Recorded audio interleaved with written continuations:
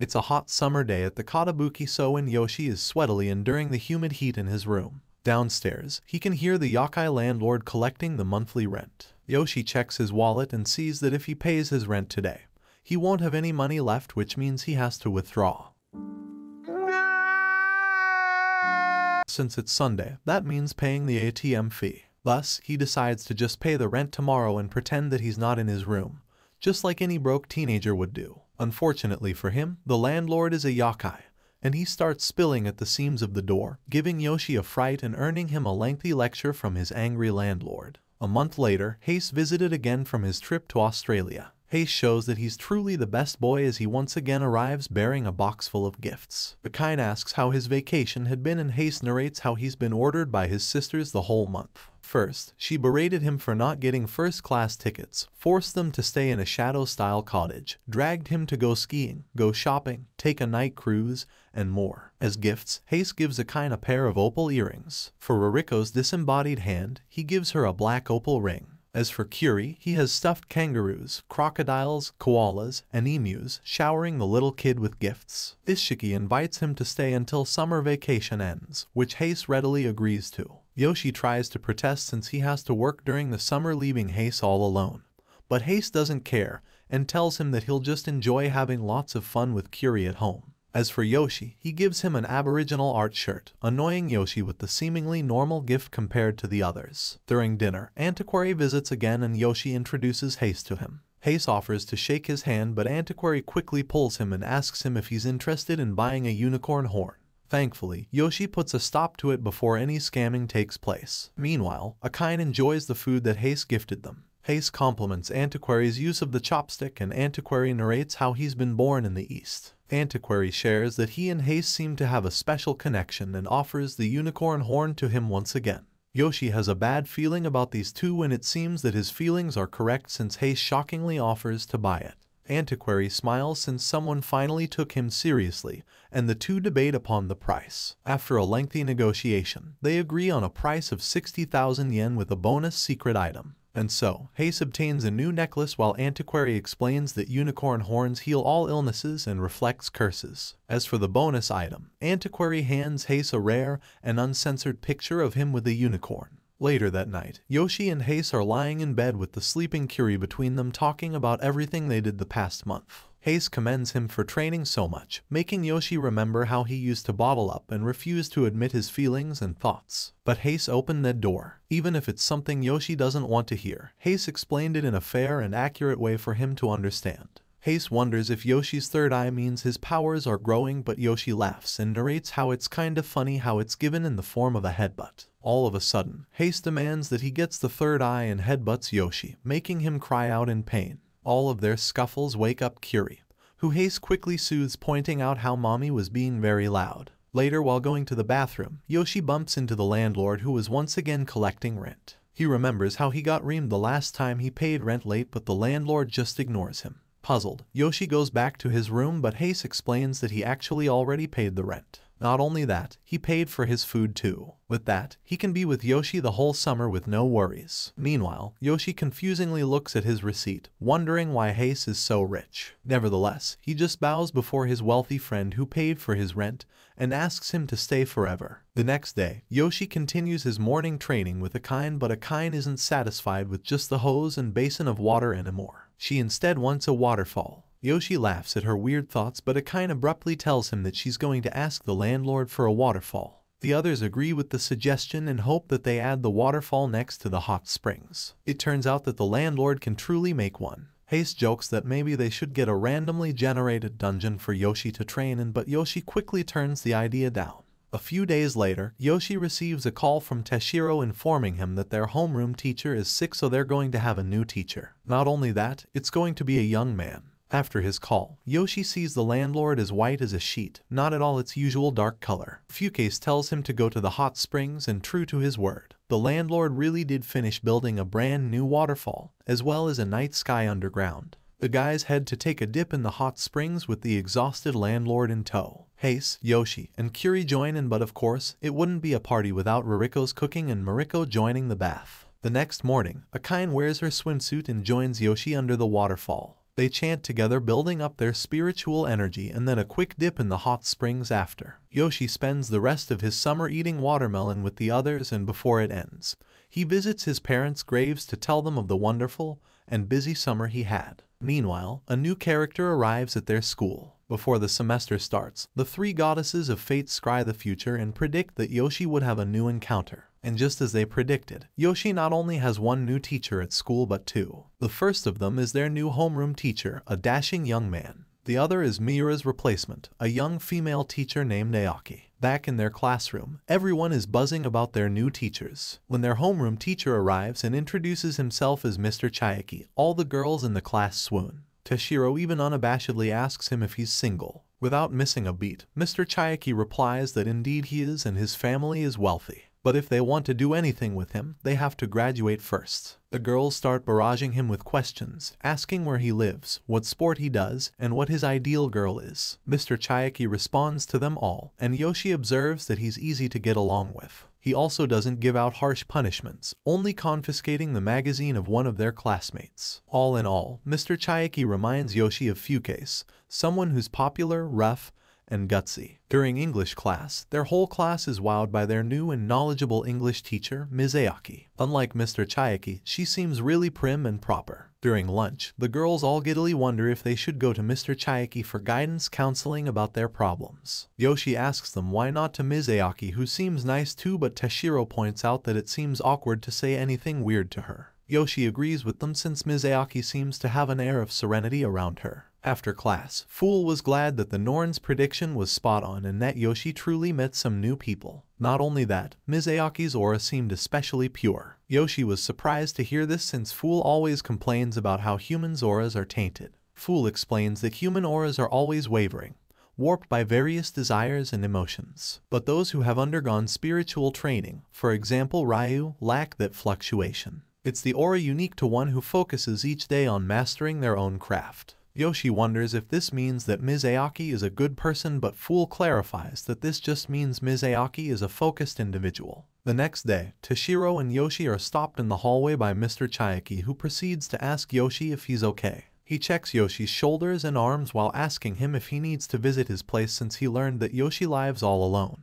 As a teacher, he can't neglect a good student. He checks Yoshi's ear and even his collar, weirding Yoshi out who assures him that he's fine. After Mr. Chiaki leaves, Toshiro gets jealous of Yoshi because Mr. Chiaki didn't even speak to her at all. During their club period, the English Conversation Club has a new member, a bespectacled girl named Yamamoto. They then discuss their next club project, with a lot of members suggesting they just do what they did last year and dub an anime movie into English. The friendly Toshiro tries to start a conversation with Yamamoto, but Yamamoto sighs and asks her if she speaks English at all. As the English Conversation Club, she assumed they would speak English the whole time. Yoshi sees that she has a book with her so she asks what kind of books she likes so Yamamoto narrates how she likes the Russian author, Chekhov. Yoshi shares that he actually just reads samurai novels and Toshiro reads magazines. Hearing their conversation makes Yamamoto sigh in disappointment. As their club meeting continues, Yamamoto asks them why they should dub an anime and not just a normal movie. As high schoolers, they shouldn't be watching anime which is for kids. This irks Tashiro and she's about to argue with Yamamoto but the club president calms her down and asks Yamamoto for a suggested movie. Yamamoto proposes that they dub a movie by Truffaut. Everyone starts to wonder if she's talking about the mushroom called truffles, making Yamamoto sigh in exasperation once again.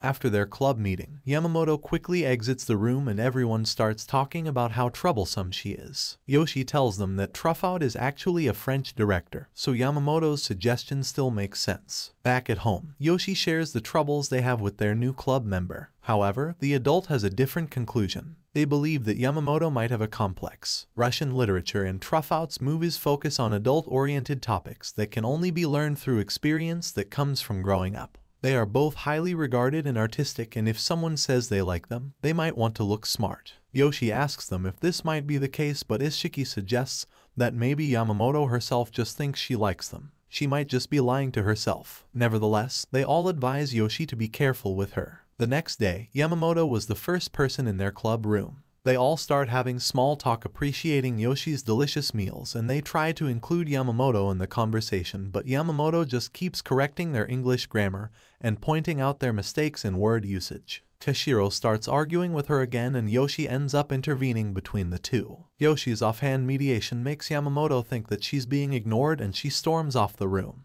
Later that night, Yoshi vents all his frustrations to Hase. At school, their club activities push forward with dubbing the anime but Yamamoto stops coming to their meetings. Fool speaks out and urges Yoshi to use them to find out more about Yamamoto, but Yoshi just stuffs him back in his pocket. Outside, Yamamoto walks away under the pouring rain and glares at their club room. In England, Hase is gazing at the moon, wondering if he and Yoshi are doing the same thing, looking at the moon and thinking of each other. Of course, this wouldn't happen because it's currently 5 am in Japan, and Yoshi's in his daily morning training. Unlike the first time he trained under the waterfall, Yoshi's mind eye can now see different things, a transparent bird, a man in black, or bunnies on the moon. During breakfast, Yoshi shares his visions earlier that morning and Isshiki explains that bunnies in the moon are actually a worldwide concept representing a bountiful harvest. Ancient Chinese claimed that clams live on the moon, then toads, and lastly bunnies. The bunnies are said to make rice cakes on the moon, said to grant immortality. Moons have always been associated with immortality. Both the Indian god of the moon Soma and Princess Kaguya is said to have a medicine granting immortality called Amrita.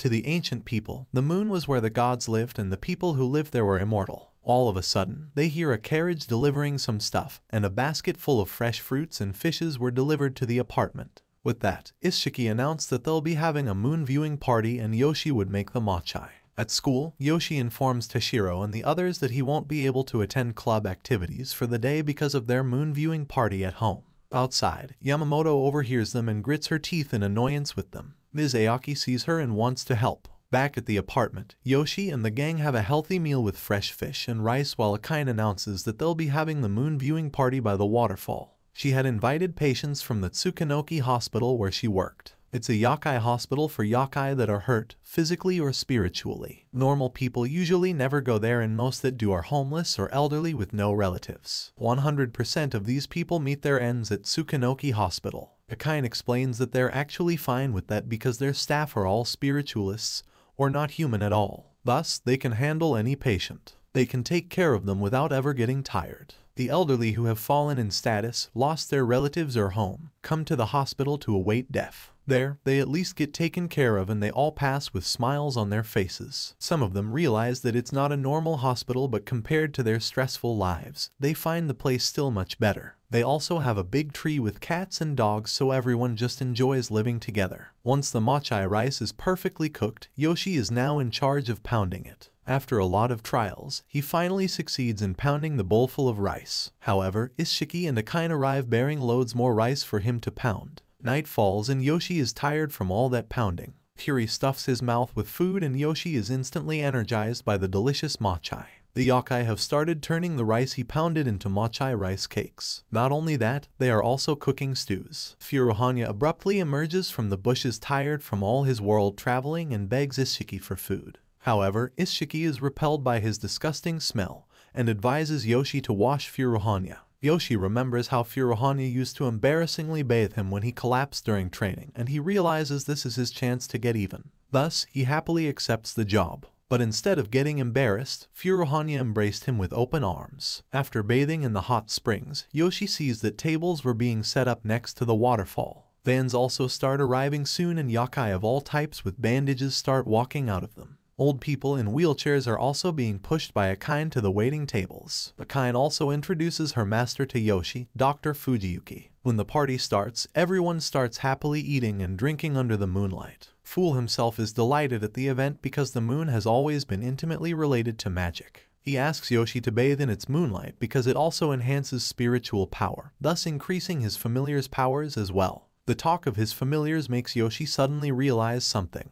He could have the muscular and omnipotent Jin do the mochi pounding instead of doing it himself. The elderly people particularly enjoy the beautiful outdoors and warm food. Yoshi asks Akane if these are all her parents but Akane clarifies that some patients couldn't travel so they're having a separate party in the hospital courtyard. One of Akine's co-workers happily drinks the sake and Yoshi wonders if he's also a psychic too. To his surprise, the man was actually a furry. Furs grow all over his body and he turns into a werewolf. Later, Yoshi is gazing at the moon when he notices that an elderly woman is sitting alone in her wheelchair. He is about to approach her when Kuri beats him to her and approaches the lady. Upon seeing the child Kuri, the old woman can't help but cry as she remembers her past. She gently pats Kuri in the head and Kuri asks her to pick him up. Seeing them together makes Yoshi remember his own family watching the moon. Despite her hard life, the elderly woman was glad that she got to enjoy the end of it. She shakes Yoshi's hand and thanks and thanks the Yokais as well. With a smile, she then vanishes into brilliant gold light that dissipates into the moon. One by one, the other elderlies thank them and disappear in a brilliant white light, passing on to the next life. The next morning, they see Kuri creating mochi rice from mud outside.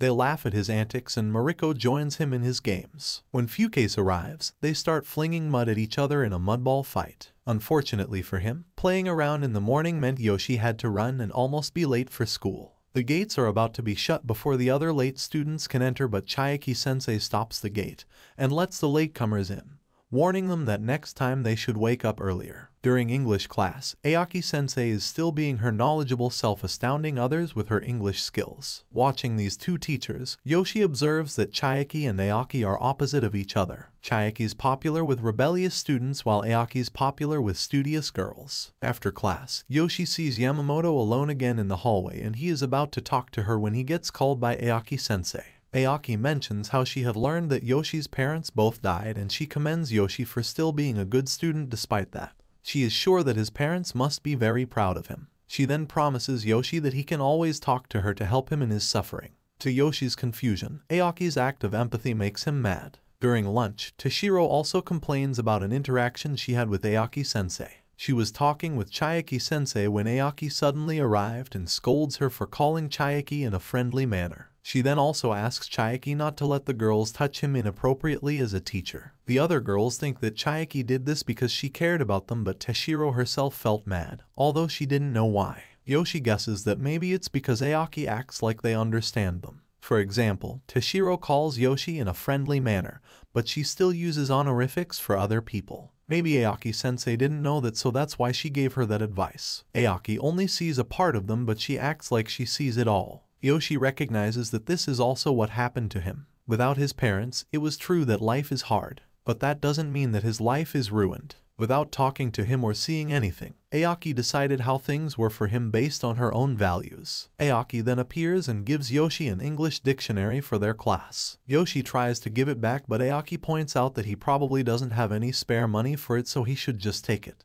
She also tells the other students that she's not playing favorites because they all know about Yoshi's special situation. Aoki is about to leave but Yoshi can't take it anymore and he tells her that he's not special nor does he feel handicapped. However, Aoki smiles and agrees, cheering him on. Back at the apartment, Yoshi scares the other Yokais with the rants he spouts off about Aoki. Even Fool advises him to calm down since his aura is fluctuating wildly. What does calm him down is a postcard from Hase informing him that he's at Lichtenstein Castle in Germany, and he'll be bringing presents the next time he visits. After dinner, Yoshi shares his troubles with the adults of Kotobuki So. They all cheer Aoki's beauty but they do acknowledge that she sounds like a pain to hang out with. Sato narrates how someone in his job used to be just like Aoki. He was a nice guy and he'd care too much about new hires. He'd take away jobs that the new guy had to learn without letting him do anything or speak. In the end, the new guy couldn't get any work and he wasn't able to grow. Even if the boss tried to blame the new guy, he'd cover for him, pointing out that the new guy is still a newbie. From the start, he decided that the new guy couldn't do anything. Being nice and caring isn't a good thing. What's good are the results that it can bring about. Sato's story makes Yoshi realize the difference between Aoki and Ryu. Despite the two having a similar aura and offering their help, Ryu never gave him advice or help when he was suffering during his spiritual training but he was still there, believing in him and watching him. That was his kindness. Aoki's kindness, on the other hand, is the opposite. She's forcing her good intentions on other people. The next day during club activities, the club president hands out the tasks to the different members. Yoshi was glad he didn't get any speaking roles. When Yamamoto arrives and chooses to just quietly sit in the back, the club president insists that she participate in the club activities on the upcoming social with the Foreigners Club. If she just wants to read, then she can go read in the library. Yamamoto angrily storms out and leaves. Unfortunately for them, Aoki sees her leaving and berates the club for bullying Yamamoto. They try to explain what happened but Aoki insists that they should just be friends. Their club president finally relents and assures Aoki-sensei that they'll try to be civil. Later, Yoshi is walking in the school courtyard pondering what Aoki-sensei said when he runs into Chiaki. Upon hearing his problems, Chiaki advises that they should just have to adapt to people like that, just like how their club president did. There, Aoki once again sees them but Chiaki comes to his defense and explains that he's just advising Yoshi. Aoki tells Yoshi he could have just come to her. Chiaki tells him that Yoshi is fine but Aoki doesn't believe him. After all, Yoshi is an orphan and lives alone. In his mind, Yoshi wants to angrily blurt out that he's not alone. But Aoki is already deciding things on her own again. Chiaki stands up and points out that Yoshi's collar is clean.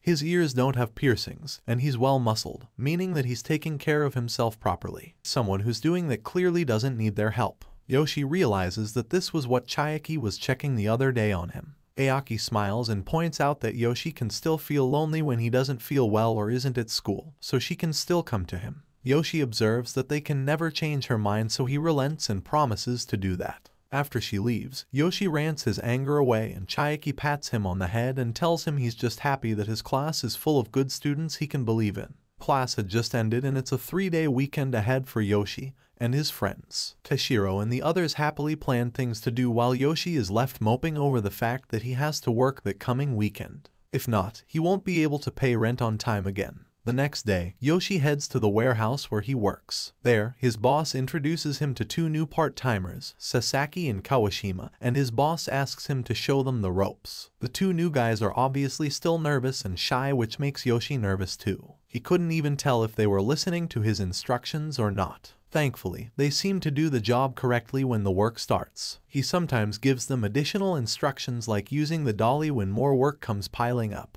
During the workday, Fool also appears and advises him to use his summons to make their physical labor easier. For example, Golems, the stone doll, can carry anything. Jin could easily stack up the boxes, or even Brondis can blow the boxes away. Yoshi however finds some way that this would end up badly so he just puts Fool and the magical book in his locker. During lunch, Yoshi hoped to get closer to the two newcomers, but they opt to eat by themselves, reminding Yoshi of Yamamoto who also chooses to do things alone. When the afternoon batch of packages arrives, the workers get back to work. Their boss hands some cold coffee to Yoshi and the newcomers and they all thank him. After drinking the cold coffee, the two newcomers smile and compliment the coffee, surprising Yoshi that they start talking to each other. Back at home, Yoshi shares his experience once again with the others and Sato tells him that the newcomers probably learned to communicate with their bodies in the end.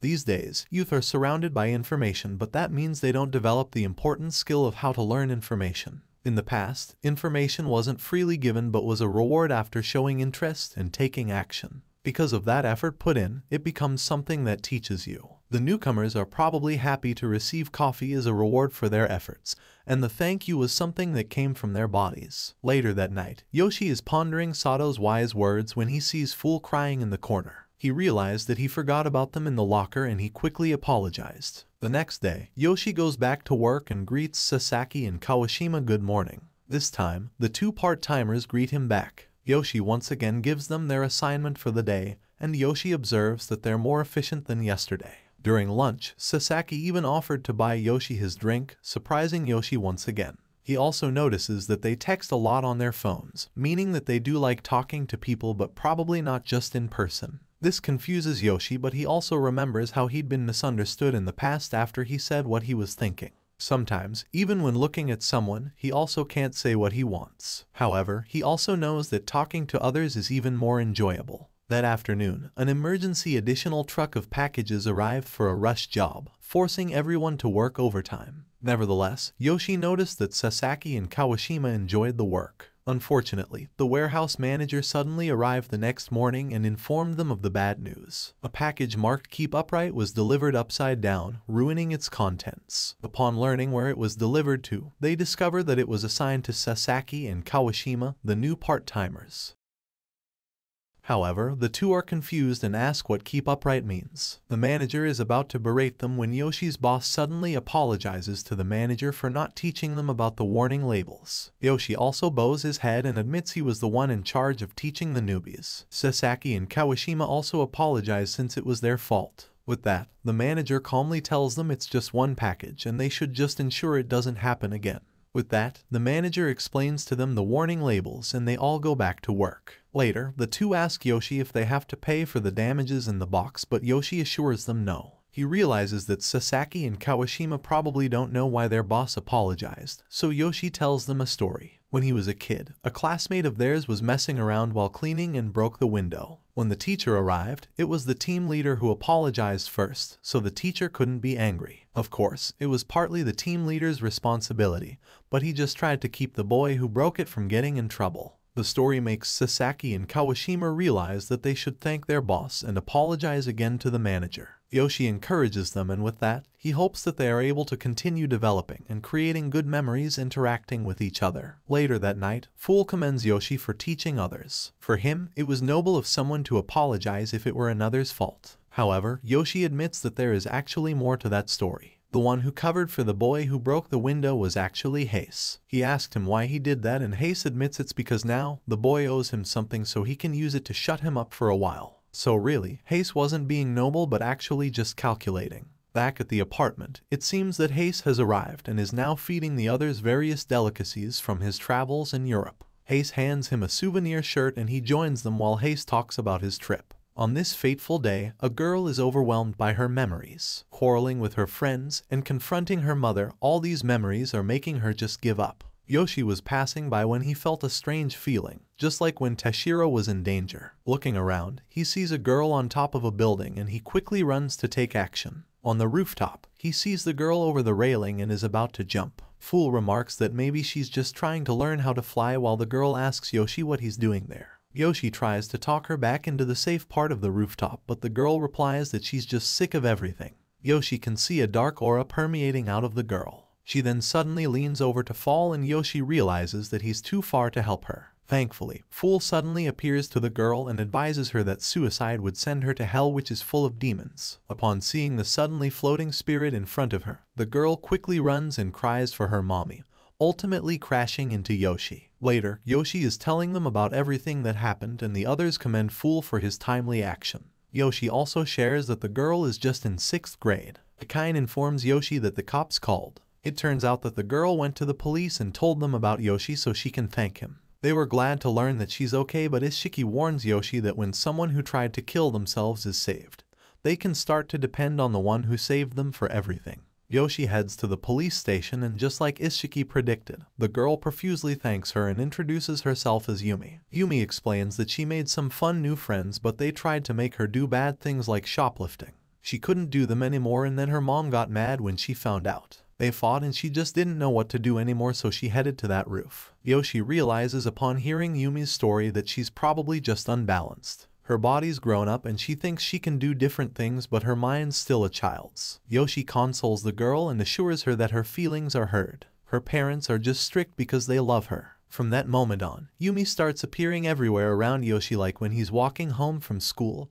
or going to work. Isshiki laughs at Yoshi's troubles since his prediction came true. She truly is now dependent on him. One day, Yumi once again tries to tag along with Yoshi so he decides that this time, he'll bring her along. He asks her to wear more normal clothes and be as polite as possible. Then, he brings her to the social English conversation club planned with the Foreigners Club. Yoshi introduces Yumi to Tashiro who was happily eating in the event, and to George, the president of the Foreigners Club. While Yumi interacts with the other guests, the club president gets a phone call and learns that one of their members won't be able to make it. Unfortunately, he was supposed to be the main character's voice actor for the anime they're dubbing. Thus, he asks Yoshi to be the voice actor instead. Yoshi wanted to deny the job but upon seeing Yumi, he decided to accept it. Thus, the English Conversation Club started dubbing the anime of Nada de Coco Quest. They tell the story of Nada de Coco's attempt in saving Princess Panna Cotta. Everyone applauds their masterful dubbing including Yumi who was amazed at what she watched. Meanwhile, outside the event, Yamamoto is eavesdropping and leaves. After the party ends, Yoshi and Yumi bade goodbye to George and thanked him for their hospitality. George commends their English speaking skills and tells them they are welcome anytime.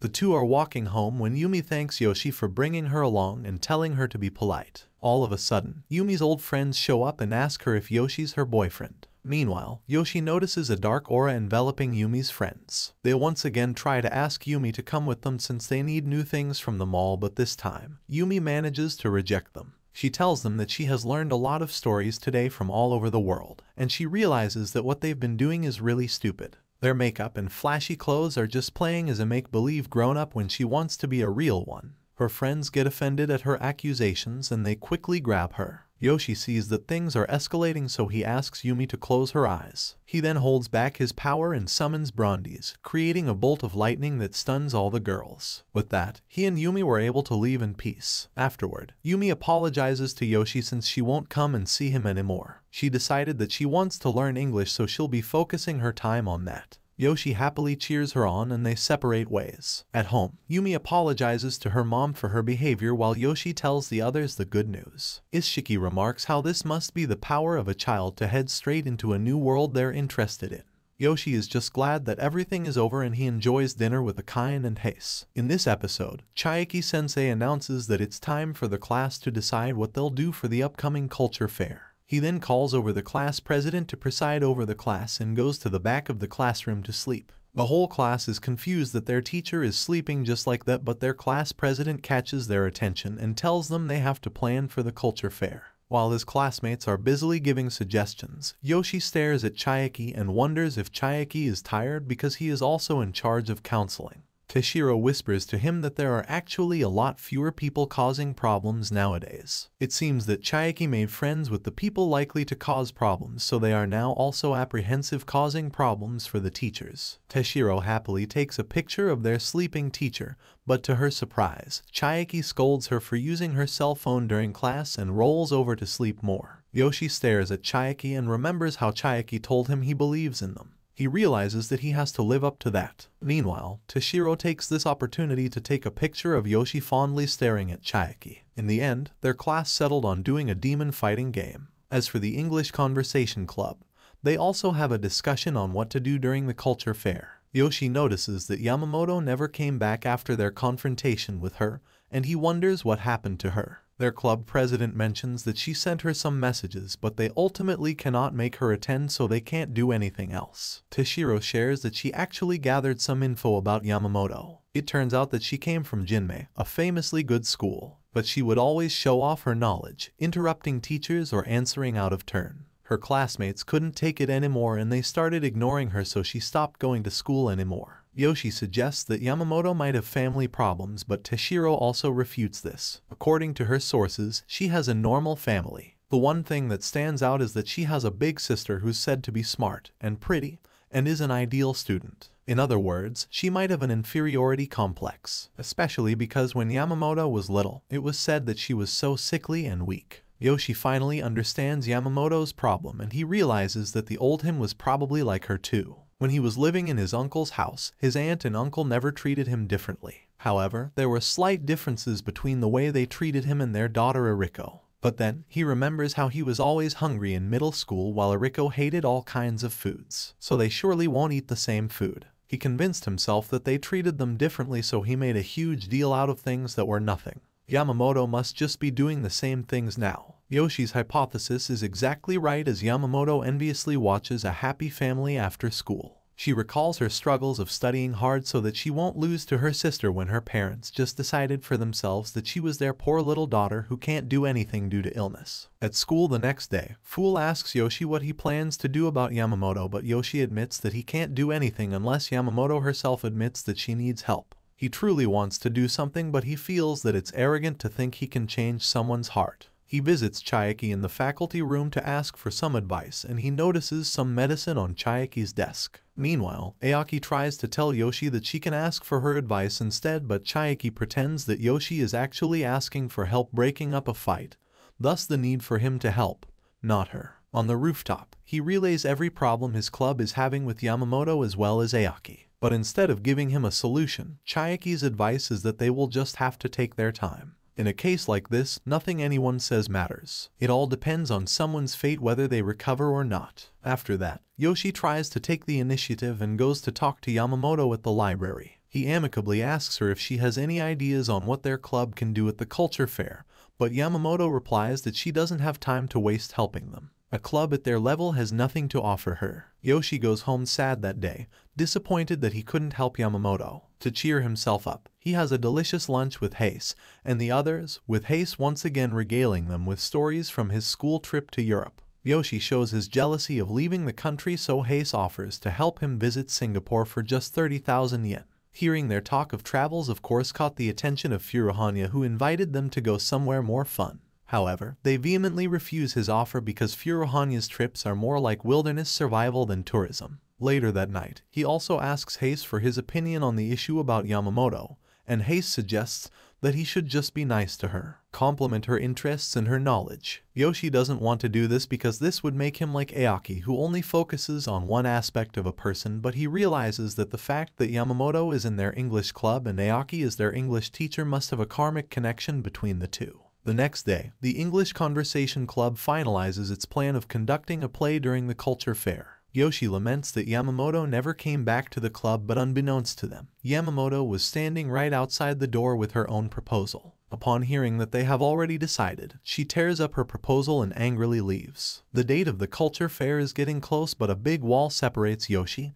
and the fair. Yes, it's his midterm exam. Yoshi is more worried since he has less time for studying than others due to his work and daily training. But he can't let that beat him on his road to becoming a government official. At Kotobuki-so, the gang is resting after a hearty dinner when they ask Antiquary if he has any new interesting artifacts. Antiquary admits that he has but he hesitates to show it. After a few more convincing, Antiquary's servant brings forth a weird-looking lamp. He then explains that it's an omnidirectional 3D projector. Before he demonstrates, he first asks Akine to construct a barrier around the room, making Hase and Yoshi suspicious that it might be something dangerous. Yoshi voices out that he has to study but Antiquary assures him that what they'll be doing won't take long and it's something that Yoshi might only see once in a century. With that, Antiquary turns off the lights and inserts some kind of chip into the lamp. Then all of a sudden, the whole gang was transported into the sky, or more like a projection of the sky was projected around them. Yoshi wonders how the lamp works when Sato answers his question by exclaiming that they aren't on Earth anymore. A large dinosaur-like creature then flies over them astonishing them all. Next, they were transported to a wide desert where a huge silver construct glitters in the middle of it. Suddenly, the construct moved and it turned out that it was the scale of a huge fish that lives in the desert. Their happy sightseeing is cut short however when a dark plume of cloud shoots down from the sky and a man appears before them. The man compliments their barrier and easily destroys it. Kuri starts crying and Yoshi pulls out the Petit Hierozoicon to defend themselves but Fool stops him. Fool exclaims that even a billion Yoshi would not be able to defeat the man. Yoshi disregards his warning and summons a thunderbolt but it has no effect on the man. Meanwhile, Antiquary walks in front of them and addresses the man. He urges the man to stop or else he'd be forced to remove his eye patch. The man smiles and asks Antiquary if he's threatening them. He then calls Antiquary the heretic of the far reaches, surprising Yoshi. However, Antiquary insists that he's just an ordinary antiquary. The man releases his spiritual energy, causing the wind to violently gust over the gang. Antiquary sends one of his subordinates to attack, but the man just deflects his minion back. Left with no choice, Antiquary smiles and bids them farewell before removing his eye patch. However, it was just a bluff to gain time as more of Antiquary's minions appears and throws smoke bombs all over the place, obscuring everyone's vision. And just like that, Yoshi and the others are back at Kotobuki-so, minus Antiquary. Yoshi asks what just happened and Furuhonya explains that those were Congresso Vietato, the Miracle Hunters. Basically, he was an agent for the Secret Church. The Secret Church deals with the stuff the church does secretly like exorcisms, spirit summoning, ghosts, and monsters. There are many government-run special agencies like that and the Secret Church leads them all. The Congresso Vietato is one of their special agencies. They collect things that might create miracles that would deceive the masses. Yoshi asks what would happen to Antiquary now but the others nonchalantly answer that they're not that easy to get caught. Furuhonya did get captured once and he was forced to take lessons and do three months of volunteer work. Late that night, Yoshi and Hase can't seem to sleep. Yoshi laments that he didn't get any studying done. The next day, Hase is tutoring Yoshi in a restaurant when Tashiro suddenly barges in and takes pictures of them. Yoshi hurriedly explains that they're just old friends and introduces the two to each other. The two quickly become friends as Tashiro offers secret information about Yoshi to Hase, who contemplates deeply about buying it. After reviewing with Hase, Yoshi heads back to Kotobuki so only to be dragged by Furuhonya who tells him he has something for him. He brings Yoshi to the field beside the waterfall where the others including Fujioki were there. Yoshi curiously asks if there's another hospital event but Furuhonya clarifies that he was actually hoping for Fujioki to appraise something he found called the Elixir of Immortality, Amrita. He has to travel far and deep into the jungle to find the village where a shady old lady was guarding it. He showered her with gifts and after a hefty payment, she gave him the bottle. Fujioki casts an appraisal spell on the bottle to read the item history, and after a moment, he concludes that the bottle seems real. It's probably not immortality but a powerful, life-extending magic has been cast on it. The last person who took it was the old woman herself who's probably more than 800 years old. She was once a priestess and its original holder entrusted the elixir to her so it would not be misused. The priestess used the elixir to help people with every single drop using it to heal those in need. Years passed and people slowly forgot the legend of the elixir, and the lady finally got some peace and quiet. So when someone finally arrives trying to buy it from her, she sells it for a hefty sum. Alas, it's only a bottle now. Furuhonya shakes the bottle in anger and it truly was empty. The old woman had swindled him. However, Furuhonya manages to get one last drop from the bottle. They all dip their fingers in it, sharing it amongst themselves and tasting it. Fujioki estimates that maybe they'll live for around 7 months longer. Afterward, Yoshi was given the empty bottle by Furuhonya and he went back to his room to study. When morning arrives, Yoshi is sleeping on his desk with his notebook empty. It looks like he didn't get to study after all. It was the morning of Yoshi's exams and his worrying had ruined Yoshi's appetite for the food. Fool suggests that he can always use them to get rid of the test papers and they can easily burn blow or soak the exam papers, allowing Yoshi to take a makeup test some other time. Yoshi scolds Fool for his tempting ideas. Yoshi dutifully takes the exam and is totally burnt out at the end of it. However, a commotion outside catches his attention and he sees Chiaki dragging another student to the faculty room.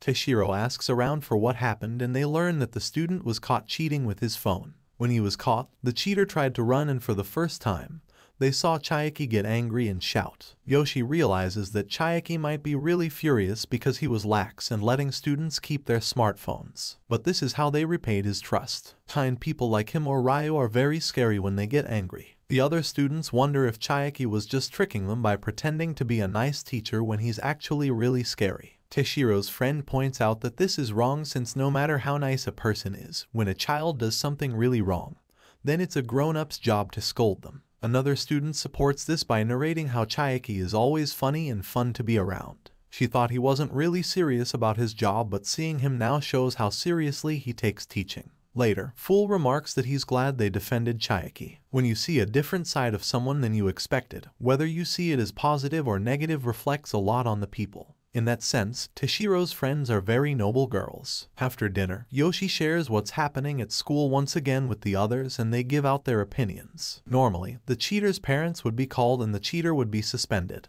However, it would probably be more than that. Hase guesses that their school would probably call a general assembly to address the issue. After finally finishing all their exams on the second day, Chiaki enters the room with a stern face and informs them that they will be having a general assembly. Hayes' prediction was right. Meanwhile at home, the others are getting bored with nothing to do so they decide to watch what's happening at Yoshi's school through a yokai. At the gymnasium, Chiaki stands in front of everyone and explains what happened. During midterms, a smartphone was used to cheat. Their school technically doesn't allow cell phones on the premises, but doing daily searches isn't practical so he overlooked it as long as everyone behaved. He angrily expresses his disappointment about being betrayed like this. He was a fool to trust and spoil them so from now on. He'll be extremely strict about phones. No one can bring any phones and if he finds one, he will stomp on them. To show his dedication, he stomps on a phone. The students think that Chiaki might be going too far and their thoughts are given voice by Aoki who starts speaking. She implores Chiaki to think about the students' feelings and show more consideration. The students start cheering her on and shouting out that they aren't the ones who cheated. They start throwing stuff at Chiaki and boo him. Chiaki angrily berates Aoki for interrupting and tells her to mind her own business, making all her fans angrier than ever. They demand that he apologize to her. Yoshi realizes that if this continues, everything will turn into a mess. He has to do something. Fool appears in his pocket and reminds him that he can use the patisse for this kind of occasion. This gives Yoshi an idea and he orders Fool to topple the microphone beside Chiaki. The ensuing noise caused by the microphone quiets everyone down and the student council president picks up the mic. President Kamiya tells everyone to sit down and she asks both Chiaki and Aoki sensei to refrain from getting emotional. She then apologizes to Chiaki for betraying the teacher's trust and accepts that if smartphones are completely banned, they cannot complain. However, they promise to maintain good behavior if they give them another chance. The students show their support for President Kamiya and give her a round of applause. Chiaki finally relents and agrees to let them bring their phones. However, poor behavior would result in the confiscation of phones to be returned upon graduation. The students quickly complain and President Kamiya tries to negotiate it down to three days of confiscation. Even the students beg Chiaki to lower the confiscation period. After a period of negotiation, both parties agree to a confiscation of one month, earning them a cheer from the students. Meanwhile, the guys watching from Kotobuki-so see the strategy Chiaki used to get the students' cooperation. He started with a demanding offer to get someone to the line he really wanted. He deliberately destroyed a phone to show how harsh he was and then instituted harsh conditions to make the students think things were as bad as possible. Then, he gradually compromised so everyone accepted it as better than things currently were. Yoshi also realizes this thanks to Fool's explanation. Of course, not everything went as planned but thanks to Yoshi's quick intervention, everything ended okay. After the General Assembly, the students are leaving the gymnasium when Yoshi hears some students still believing that Chiaki is controlling them with violence and authority. However, he accepts the fact that having everyone peacefully understand what's happening is too idealistic. Meanwhile, another group of girls that are fans of Aoki are harboring resentment against Chiaki-sensei. At home, Hase commends Yoshi for his performance during the General Assembly. It turns out that Chiaki truly asked President Kamiya before he started the General Assembly for her to give an alternate proposal. Thanks to Yoshi's interference, she was able to join in on the discussion and create a compromise between the students and the teachers. During dinner, Yoshi mentions how they can now focus on their cultural festival preparation. The Kotobuki-so festival immediately perks up upon hearing that there will be a festival, and they quickly ask Yoshi where it will be held. Back at school, everyone is busy creating props and booths for their exhibits at the cultural fair. As for Yoshi, he's drawing masks for their Oni hunting game. Some of their classmates are still grumbling about the new cell phone rules and how Chiaki-sensei seems to be skipping their classes again. Yoshi gets frustrated at them but ultimately, he or Tashiro can't do anything about it. Meanwhile, Yamamoto's class is having a cafe exhibit but Yamamoto is still not participating, opting to just read a book in the corner. Aoki notices this and looks worriedly at her. President Kamiya later talks to Yoshi and Tashiro to bring up the issue of growing resentment against Chiaki-sensei among the student body. She then explains that after the cheating, the teaching staff actually decided that all cell phones would be banned.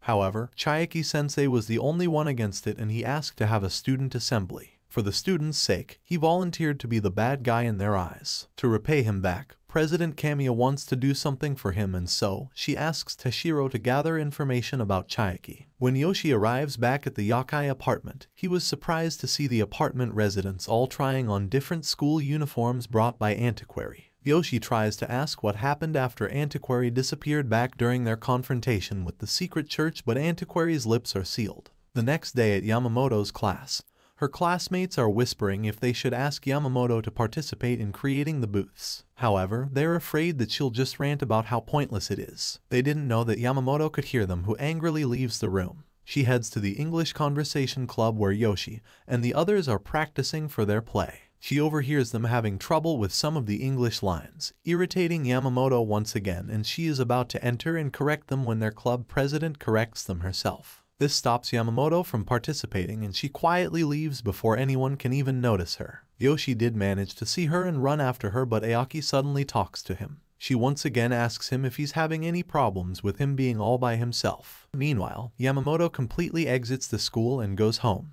There are eight days left before the start of the culture fair, and Yoshi's being worked to the bone. To get some reprieve from work, he decides to take a rest at the rooftop where he surprisingly meets Chiaki. He asks Chiaki to come back to class sometimes but Chiaki believes they can do well without him. Meanwhile, Chiaki also asks how Yamamoto is doing and Yoshi admits that it's still tough interacting with her. Yoshi is about to go back down to his classroom when he notices a dark aura emanating from Chiaki's chest. He instantly recognizes it as the same aura that he absorbed from Tashiro when she was hit by a motorbike. He can see the aura growing larger and Chiaki enduring the pain so Yoshi touches his chest and asks Chiaki to keep quiet. After concentrating, he manages to absorb the aura into his own body. Chiaki was surprised that he feels better but Yoshi explains that he just gave him some form of massage. He asks Chiaki if he has some form of disease and Chiaki admits that he actually has anemia. While walking home, Yoshi wonders if Chiaki might be pushing himself too hard with all that's happening at their school. Meanwhile, Fool commends Yoshi for helping out another human. Yoshi was glad that he was able to put his training to use but Fool points out that he probably couldn't do it with anyone. He and Chiaki seem to just have very compatible bodies. However, Yoshi suddenly sees the aura emanating from his own hand and he suddenly faints. When he woke up, he was back in Kotobuki so under Akine's care. Akine warns him to be careful in absorbing others' injuries because Yoshi himself could pass out or even die. After Yoshi looks properly chastised, Akine smiles and invites him for dinner. After dinner, he tells them about Chiaki's condition and Isshiki laments that there's nothing one can do about anemia except take medicine.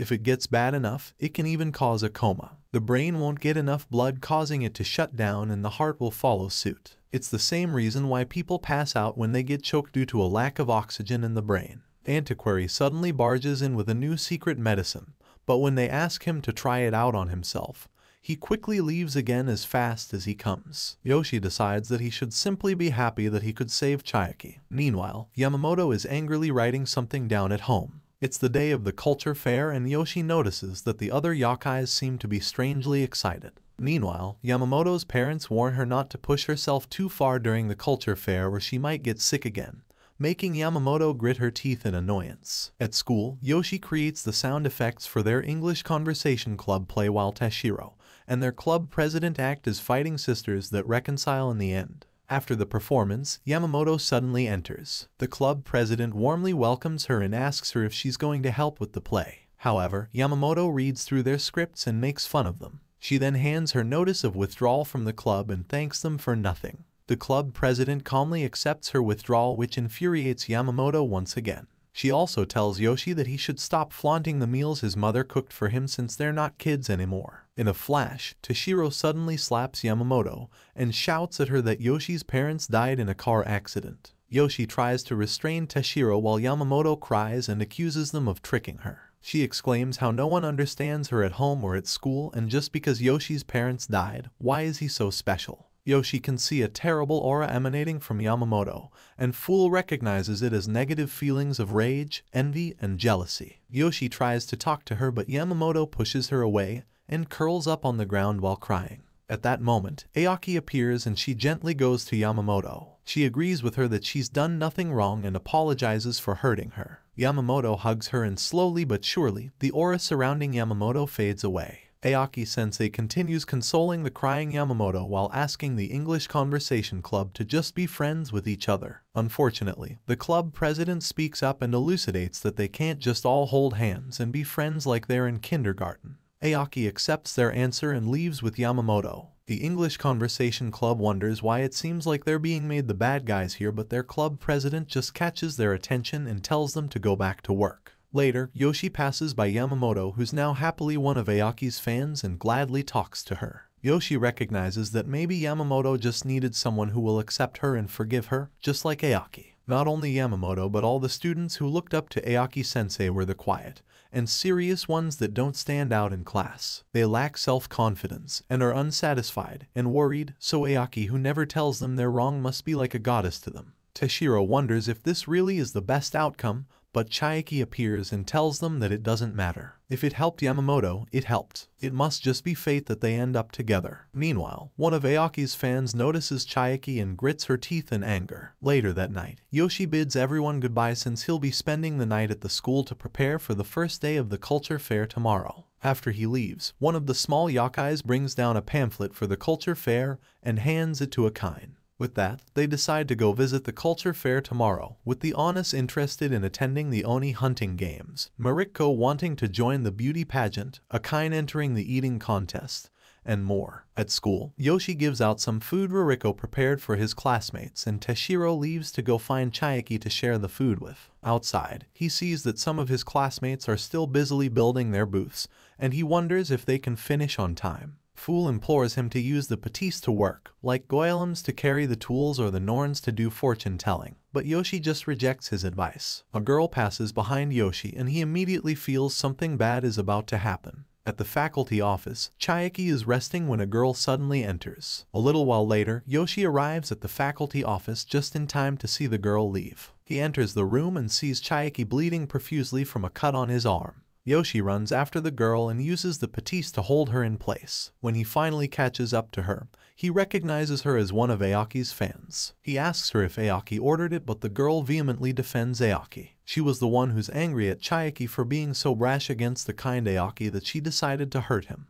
Aoki had nothing to do with it. Yoshi takes the box cutter the girl was wielding and threatens to show it to the other teachers during their meetings. The others' views on Aoki would surely change then. The girl begs Yoshi not to do that since this incident doesn't involve her. Yoshi agrees on one condition, she stays away from Chiaki. He then retracts his summons and lets her run away. When Yoshi returned to the faculty room, Chiaki had fainted on the ground. Yoshi recalls how blood loss coupled with anemia might have caused Chiaki to fall into a coma. Meanwhile, a dark aura is once again spreading over Chiaki. Yoshi was about to absorb it but he hesitates since he's not sure he can handle such a huge amount of damage. Thankfully, a memory of Hase calms him down and he summons Jin. He then orders Jin to bring the medicine bottle Amrita from his room. When the bottle appears, there is thankfully one other drop from the bottle and he feeds it to Chiaki. A white light slowly blossoms on Chiaki's chest and drives away the dark aura, completely curing him of his injuries. Chiaki slowly wakes up but he can't seem to remember recent events. Yoshi quickly makes an alibi that Chiaki passed out from blood loss due to a nosebleed. Yoshi retrieves the Amrita bottle when he feels that there's another drop inside. He puts it in his hand and demands that Chiaki lick it. Yoshi's pushiness convinces Chiaki to lick his hand,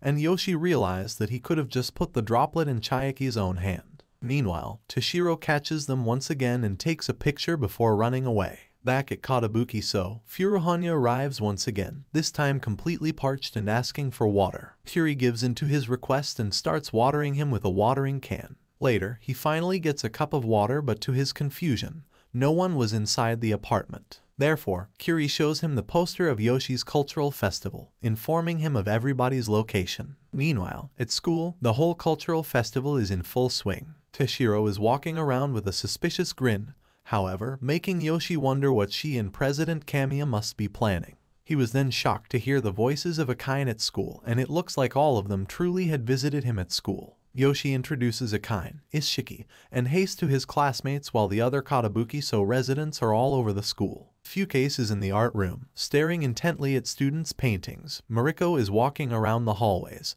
while the Yokai landlord is taking photographs with children who thought that he is a school mascot. Mariko is helping random students cook their dishes while Sato is just enjoying the food. Meanwhile, Isshiki leaves to go to the literature club while Akine joins a food-eating contest, leaving Hase and Yoshi to wander around the booths together. They see Fukase going crazy painting and improving other people's artwork, and they pass by the literature club where Isshiki is swarmed all over by his fans. Meanwhile, Akine is decimating all her opponents in the food-eating contest. They also pass by Antiquary who set up a booth of his own to sell some artifacts, and he offers them a crystal said to be the lightning of the gods. At the gym, the beauty pageant is in full swing and Mariko is on the stage amongst the contestants. Unfortunately for her, no one can even see her. The Honest see the demon hunting game and they readily accept the challenge, but some schoolgirls mistake them as costumed students who push them towards the stage where they are used as target practice by children. Next, the time comes for the English Conversation Club's play and the others eagerly await Yoshi's performance. Unfortunately, Yoshi was in charge of creating the sound effects and lights, meaning he never entered the stage. Meanwhile, some delinquents are bored with the whole festival and annoyed that nothing fun is happening. They then overhear President Kamiya and Chiaki planning the next stage of the cultural festival at the gymnasium and they decide to have some mischievous fun of their own.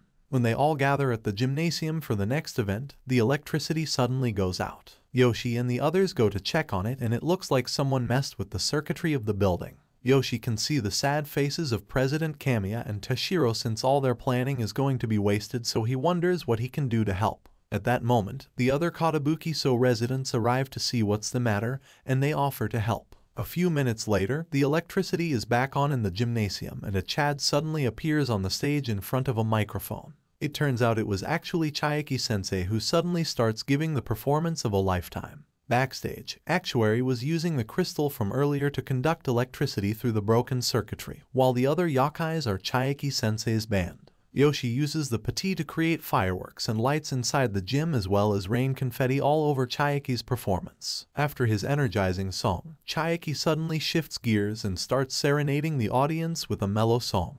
Yoshi even added a little rain over the Chiaki, making him sparkle under the spotlight. Meanwhile, the other delinquents are back to sabotage the electricity again, but unfortunately for them, this time it was guarded by Fukase, Isshiki, and Hase himself. After Chiaki's performance, he had earned back the absolute adoration of the students, just like how President Kamiya planned it. President Kamiya would have liked to thank Yoshi's friends but they already vanished, seemingly like ghosts. At the end of the festival, the others happily leave the event just in time for Furuhonya to arrive. Meanwhile, Chiaki-sensei is once again surrounded by students, just like before. Later, Yoshi asks Chiaki how this all happened and it turns out Tashiro found a picture of him performing back when he was still at school. The president then went on her knees and begged Chiaki to sing at the culture fair, so he never had the chance to refuse. Chiaki remarks that it was actually rough at his old school too since everyone kept confessing to him after he sang.